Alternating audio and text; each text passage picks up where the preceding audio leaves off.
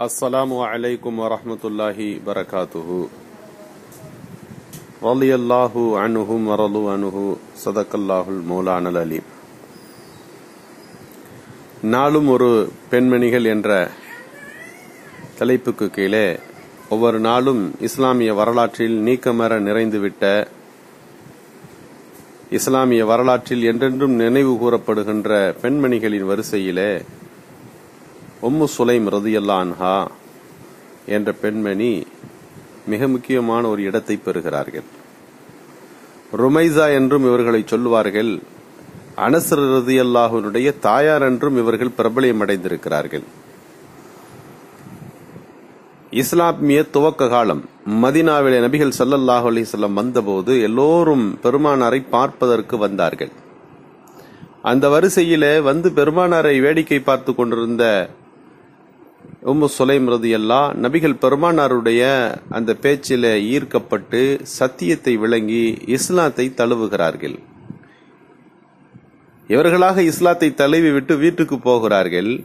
வீட்டில் கணவரோ இஸ்லாத்திற்கு எதிரான நிலையில் இருப்பவர் வெளியூருக்கு போயிருக்கிறார். குடும்பம் யாரும் இஸ்லாத்துக்குள்ளே இணையாத ஒரு நிலை.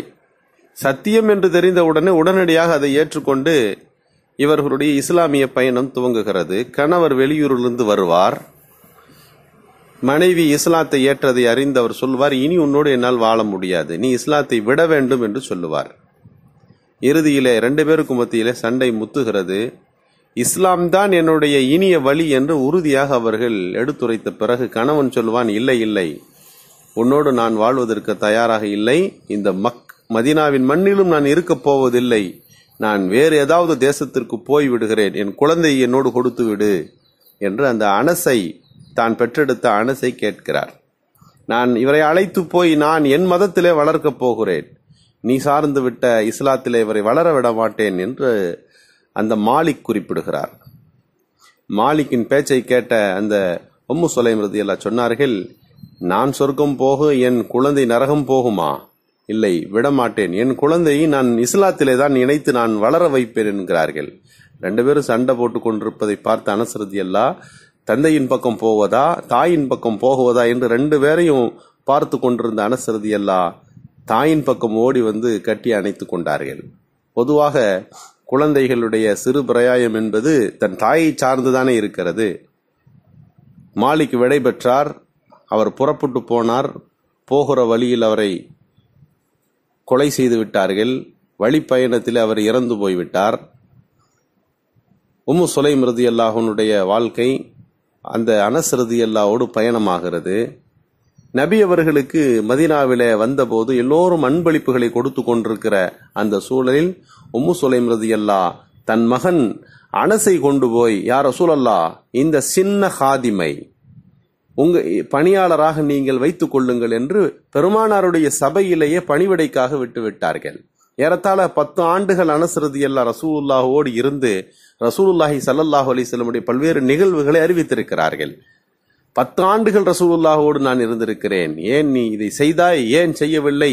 என்று ஒரு நாள் கூட என்னை கடிந்து கொண்டதில்லை என அனுசருதி அல்லாஹ் சொல்லுகின்ற இந்த ஹதீஸுக்கு பின்னணியில சிறு குழந்தையில இருந்து ரசூலுல்லாவின் பணியாளராக அவர்கள் இருந்தார்கள் என்கின்ற வரலாற்றை நாம் அறிந்திருப்போம். அவர் பணியாளராக எப்படி வந்து சேர்ந்தார் என்றால் பெருமானாருக்கு அன்பளிப்பாக உம்மு சுலைம் ரதி அல்லா அந்த அனசை பெருமானாருடைய சபையில் விட்டுவிட்டு போனார்கள் என்றால் நாம் அவர்களுடைய தியாக உணர்வை யோசிக்க வேண்டும். ஒரு பக்கம் கணவன் இல்லை மறுபக்கம் ஆதரவாய் இருப்பதற்கான குழந்தை. அந்த குழந்தையும் இப்போது பெருமானாருடைய பணிவிடைக்கு. இப்படி காலம் கிடக்கிற ஒரு சூழலில்தான் மதினாவில் மிகப்பெரிய பணக்காரராக வளம் வந்து கொண்டிருந்தவர் அபு தல்ஹா. ஏறத்தாழ மதினாவின் தலைவர்களில் ஒருவர் என்று இவரை சொல்லிவிடலாம். செல்வாம் செல்வமும் செல்வாக்கும் பெரும் மக்கள் மத்தியிலே பிரபல்யமும் பரபரப்பும் கொண்ட இந்த நபர் உம்மு சுலைம் ரதியல்லாவை பெண் கேட்டு வருகிறார். அன்றைய காலத்தில் இஸ்லாம் குஃபுர் என்கின்ற அந்த பாகுபாடுகளுக்கு மத்தியில் திருமண உறவு குறித்த தெளிவான சட்டங்கள் இறக்கப்படாத ஒரு காலம். இஸ்லாமிய பெண்ணை இப்படி அன்றைக்கிருந்த ஊர் நடைமுறையில் மாற்று மதம் சார்ந்தவர்களும் திருமணம் செய்து கொள்ளுகின்ற இயல்பு இருந்ததால் அல்லாஹ் அதுவரை சட்டம் சொல்லாததாலே இவர் வந்து இயல்பாக ஒரு பெண்ணை கேட்கின்ற விதத்தில் உன்னை நான் திருமணம் செய்து கொள்ள விரும்புகிறேன் என்று சொன்னார். வரலாற்று வரிகளில் பொறிக்கப்படுகின்ற அந்த வார்த்தை அப்போதுதான் உம்மு சுலைமிருது எல்லா சொன்னார்கள் மரக்கட்டையையும் மரக்கட்டையையும் அது சார்ந்த பொருள்களில் செய்யப்பட்ட கடவுளை வணங்கி கொண்டிருக்கக்கூடிய உங்களின் நிலை என்ன? ஓர் இறைவனை வணங்கக்கூடிய என் நிலை என்ன? அபு தல்ஹாவே நீங்கள் ஊரில் மிகச்சிறந்த பெரிய பணம் படைத்த மனிதராக இருக்கலாம். இருந்தாலும் உங்களுடைய தீன் இவ்வளவு தாழ்ந்த நிலையில் இருக்கிறதே என்று அவர்கள் கடிந்து கொண்டு நீங்கள் என்னை திருமணம் செய்வதாக இருந்தால் நீங்கள் மகர் தர வேண்டும். உங்களிடத்தில் எந்த மகரையும் நான் எதிர்பார்க்கவில்லை. நீங்கள் இஸ்லாத்துக்குள்ளே வந்து விட்டீர்கள் என்றால் நம்முடைய திருமணம் சாத்தியம் என்று சொல்லி அனுப்பி வைப்பார்கள். அபு தொல்ஹா ஒரு நாள் இரண்டு நாள் யோசிக்கிறார். மரக்கட்டையை வணங்குகின்ற மனிதர்தானே நீங்கள் என்கின்ற இந்த வார்த்தை. உண்மையான இறை நம்பிக்கை எது என்பதின் பக்கம் அபு தல்ஹாவை திருப்பியது. நாம் செய்து நாமே வணங்குகிற ஒரு வழிபாட்டு முறையிலிருந்து ஏக இறைவனான அல்லாஹுவை வணங்குகிற வழிபாடு உயர்ந்ததாக தெரிகிறது என்று அவர் மனம் மாற்றம் அடைகிறார். இஸ்லாத்துக்குள்ளே வந்தார். உம்மு சுலைமை திருமணம் செய்து கொண்டார். மிகச்சிறந்த ஒரு தம்பதிகளாக அந்த மதீனாவின் வீதிகளில் இவர்கள் வாழ்ந்தார்கள் என்று பின்னாட்களில் இவர்களுடைய வரலாறுகள் போற்றப்படுகிறது. அந்த உம்மு சுலைம் ரதியல்லாஹனுடைய வரலாற்றில பல்வேறு நிகழ்வுகளில் இந்த சமுதாயத்திற்கே பெரும் பாடங்களாக அமையப்பட்டிருக்கிற இருக்கின்றன. அந்த வரிசையிலே நாம் அவர்கள் இஸ்லாத்திற்காக வேண்டி ஆரம்பமாக மகராக இஸ்லாத்தை கேட்டு திருமணம் செய்து கொண்ட வைராக்கியம். கணவன் ஏற்க மறுத்த போது இஸ்லாமிய பெண்ணாகத்தான் நான் வளருவேன் என்று அவர்கள் பிடித்து கொண்ட பிடிவாதம். தன்னுடைய குழந்தையை பெருமானாருக்கு அன்பளிப்பாக தந்த அவர்களுடைய தியாக உணர்வு.